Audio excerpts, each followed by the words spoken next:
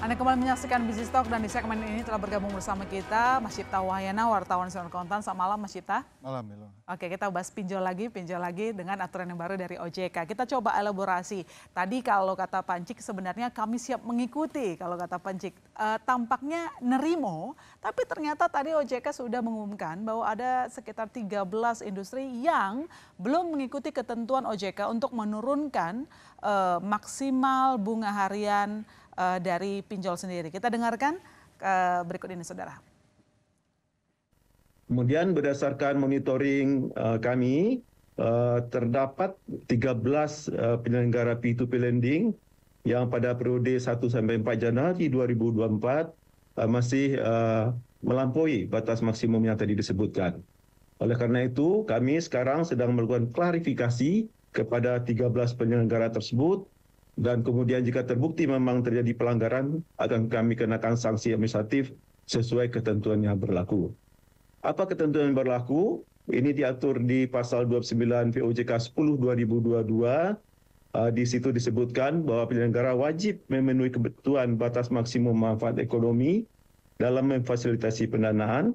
Kemudian batas maksimum manfaat ekonomi pendanaan sebagai dimaksud di ayat 1 tersebut ditetapkan oleh OJK dan ketentuan lebih lanjut mengenai pemberian dana dan penerima dana ditetapkan oleh OJK dan kemudian di pasal 41 disebutkan uh, penyelenggara-penyelenggara yang melanggar ketentuan yang tadi di pasal 29 sanksi administratifnya adalah yang pertama peringatan tertulis kemudian pembatasan kegiatan usaha dan atau yang ketiga berupa pencabutan izin.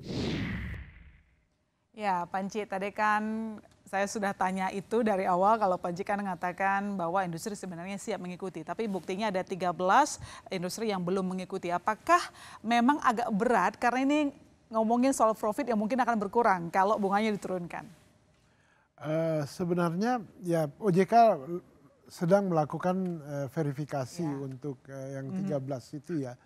Nah, uh, karena fintech peer-to-peer lending ini adalah hubungannya banyak dengan program mm-hmm. sehingga switching switching uh, bunga itu tidak kadang-kadang tidak semudah apa yang kita pikirkan. Okay. Kami juga sudah meng, uh, melakukan komunikasi ya dengan mm-hmm. teman-teman uh, seluruh platform uh, untuk hal ini sehingga mm-hmm. uh, kita juga dari AFI melakukan namanya patroli mm-hmm. uh, siapa apa namanya apa platform yang mana yang yang mm-hmm. sudah uh, melanggar ataupun tidak.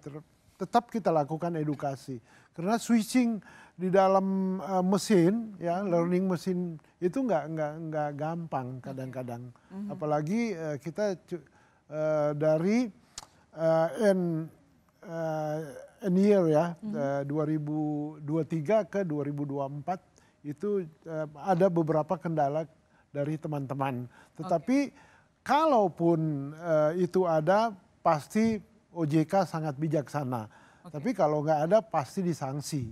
Uh. Uh, Artinya kemarin terlalu mendadak begitu pengumumannya atau gimana sebenarnya? Uh, sebenarnya pengumumannya tidak mendadak, okay. sudah udah sejak saya lupa ya November mm -hmm. atau mm-hmm. Oktober sudah lama ya. Mm -hmm. uh, sorry. November, Dan cukup dong harusnya November. waktunya dalam sebulan November, untuk menyesuaikan salah, ya, sistem road, tersebut. Roadmap itu, betul. Uh -huh. Harusnya cukup. Uh mhm. -huh. Cuman kadang-kadang uh, memang ada kendala di teknis uh mhm. -huh. ya. Uh -huh. uh, itu yang yang menyebabkan mungkin belum belum terubahnya. Uh -huh. Tetapi uh, kami dari AFI juga melakukan uh, verifikasi.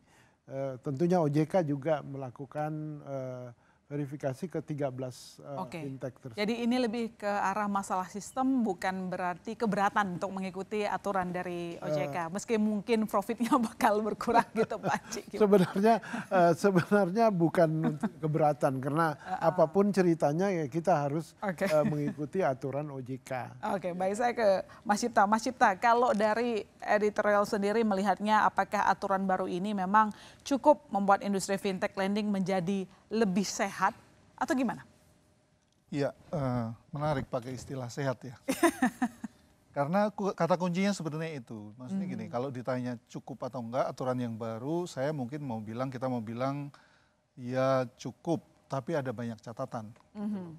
Kenapa? Karena seperti Ilona sampaikan, kalau kita butuh lebih sehat berarti karena kondisi sekarang itu sebenarnya bisa dikatakan kurang sehat. Hmm. Industri ini kan sebenarnya bisa dikatakan uh, anak kandung dari perkembangan teknologi begitu ya. Hmm. Kemudian Betul. muncul fasilitas-fasilitas pembiayaan yang basisnya teknologi. Tapi hmm. kalau menurut saya sayang berkembangnya itu uh, mungkin ya menjadi uh, agak kurang terkontrol dalam hal ini. Kenapa? Karena salah satu kuncinya adalah Uh, kalau kita menilai ya secara keseluruhan industri sendiri di masa lalu sebelum aturan yang baru itu kurang prudent. Hmm. Prudent itu kan ada kita sering bilang prudent itu ada dua aspek. Satu ada kehati-hatian, dua ada kepedulian terhadap keberlanjutan bisnis. Yeah. Jadi kehati-hatian tapi juga peduli. Kita tidak sekedar mengejar keuntungan jangka pendek hmm. dengan bunga tinggi, dengan asal screening dan hmm. sebagainya. Tapi kita harus berpikir ini bisnisnya harus panjang gitu loh. Jangan sampai yang untung hanya yang di depan aja Pak. Nanti orang lain masuk udah susah lagi gitu. Karena ah. bisnis fintech ini sebenarnya udah gede banget. Jadi kita kita kan hanya melihat sekarang misalnya angkanya 56 ya. Mungkin angka yang terbaru tadi disampaikan OJK udah 59 triliun outstanding.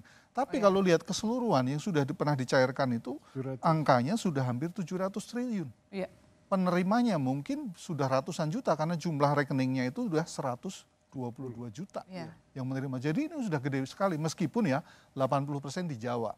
Jadi kalau ada yang bilang mungkin ini persoalan pinjol itu sebenarnya persoalan Jawa ya boleh juga seperti itu.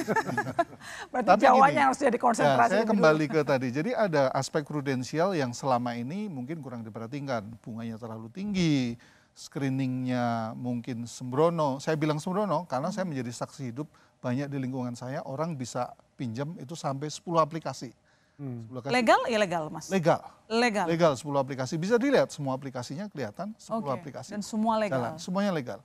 Lalu sampai kalau kita bicara aspek prudensial sampai penagihan. Ya. Penagihan gitu ya.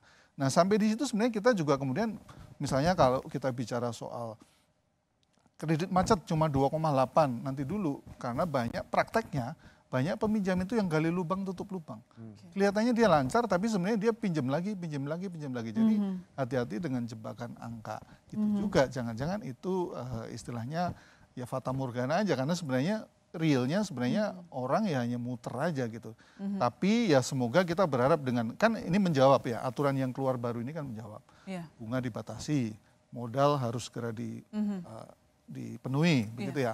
Lalu screening, ini diwajibkan screening. Meskipun masih ada pertanyaan Pak, karena screening itu di soal kapasitas disebut bahwa angsuran maksimal 50% dari penghasilan. Padahal kan idealnya kita tahu 30%. Hmm. 30% itu baru tercapai di 2026 kalau nggak salah. Sekarang masih 50%. persen. Hmm. Padahal orang pinjam kan nggak cuma di pinjol. Iya. Di KPR, ada di mana. Ada di bank juga gitu ya. Ini yang mesti jadi perhatian juga gitu. Mm -hmm. Yang terakhir soal penagihan. Penagihan kan memang juga sudah diatur ya Pak ya. Ini lebih ketat lagi aturannya. Nah tapi sekali lagi ya sudah bagus tapi pengawasannya seperti apa. Selain tadi catatan soal capacity yang 50% hmm. itu sebenarnya masih cukup berisiko. Mm-hmm. Tapi sekarang ya oke kita tunggu penyesuaian tadi masih ada yang belum bisa menyesuaikan ya. Mm-hmm. Tapi kita tunggu juga pengawasannya seperti apa. Supaya okay. ya kalau memang nggak bisa mengikuti aturan ya mungkin harus tutup ya tutup supaya seperti Ilona sampaikan kita tumbuh sekarang lebih sehat gitu. Mm -hmm. Baik, sebelum saya ke Mas Rio saya follow up lagi uh, pernyataan dari Mas Cipta ke uh, Panci. Panci, uh, ini kan diatur dulu baru industri mau rela begitu ya menurunkan bunga hariannya. Selama ini uh, apa yang membuat uh, industri begitu berani memasang bunga yang cukup tinggi? Lalu kemudian soal screening, sampai ada orang bisa pinjam 10. Di bank saja Pak, kita kan kadang dilihat ya uh, punya utang di mana saja. Kok begitu gampangnya orang lolos untuk minjam begitu? Apakah tidak ada data-data kerjasama antar industri soal uh, riwayat finansial seseorang? Ya betul. Sebenarnya ada, ada namanya uh, fintech data center. Hmm. Di antara kita saling mengecek hmm Dengan adanya aturan baru tidak boleh lebih dari tiga platform, mm-hmm. saya rasa itu sangat uh, bisa membantu ya okay. bahwa uh, uh, apa namanya pinjaman yang berlebih. Mm. Jadi sehingga nantinya borrower-borrower ini tidak meminjam kayak tadi disampaikan bahwa ada yang sampai 10 aplikasi. Yeah. Nah, ke depannya ini lubang. Ya, ke depannya ini akan uh, mulai 1 Januari ini nggak boleh lebih dari tiga. Maksimal tiga. Maksimal tiga Maksimum, katanya. maksimum eh, tiga, tiga Oh, berarti maksudnya eh, regulasi yang dikeluarkan OJK ini memperingan industri juga untuk melakukan screening gitu. Yes. Karena yes, sendiri sendiri melakukannya nggak bisa. betul. Karena Karena kadang kadang-kadang memang, Teknologinya kurang atau gimana? eh, sebenarnya bukan eh, teknologi dan informasinya Aha, eh, ada, tapi tetapi eh, kecepatan itu lebih cepat orang meminjam. karena memang menggunakan jasa pihak ketiga, nggak sendiri gitu. Eh, enggak ke FDC-nya. Jadi Oke. umpamanya sa- saat ini orang meminjam ya, Mhm. dia buka bukan cuma satu aplikasi, bisa 10 aplikasi. Dia Oke. dia gambling. Hmm, Mana siapa yang, yang bisa lebih- terima gitu ya? Nah, mana yang cepat Diajuin itu dalam yang waktu itu. yang sama berarti ya. Betul. Oke, baik. Nah, Saya Sehingga ah, kadang-kadang informasi di FDC itu Hmm. jadi rancu. Ini tampaknya memang harus ada investasi lagi di bidang teknologi begitu ongkos Yes. lagi begitu ya Itu Pak. konteks di situ soal permodalan tadi. Permodalan, harus ya. Yes, diperkuat. betul. Ya, permodalan Jadi, semakin diperkuat. eh, risk controlnya mesti lebih kuat lagi, Mhm. eh, credit scoringnya lebih bagus. Ya. Eh, eh, tadi disampaikan prudent itu harus lebih prudent lagi. Oke. Kalau mm, tidak ya kredit macet akan naik. Oke. Satu, yang kedua yang paling penting mungkin pengawasan dari OJK akan kena sanksi-sanksi sesuai dengan aturan yang ditetapkan oleh OJK. Oke, baik. Saya ke Mas Rio. Mas Rio mungkin punya catatan yang bisa dibagikan kepada kami berapa jumlah aduan eh, masyarakat terkait dengan pinjol, baik legal dan ilegal. Paling banyak masalahnya apa? Apakah soal penagihan atau bunga yang terlalu tinggi? Ya, terkait dengan permasalahan sendiri tahun 2022 soal jasa keuangan itu sendiri kurang lebih 32,9 persen jasa keuangan sendiri. Nah, dari jasa keuangan itu kita sebenarnya dari ada beberapa sektor, ada enam sektor di jasa keuangan. Nah, tertinggi pengaduan jasa keuangan itu sendiri adalah dari pinjaman online yang kurang lebih 44 persen menyimpang dari total permasalahan jasa keuangan itu sendiri. Nah, kalau kita lihat secara mendalam sebenarnya eh, berapa sih persentase pelaku usaha pinjaman online yang diadukan oleh konsumen kepada ILKI? Yang 74 persen ya memang itu adalah pinjol ilegal.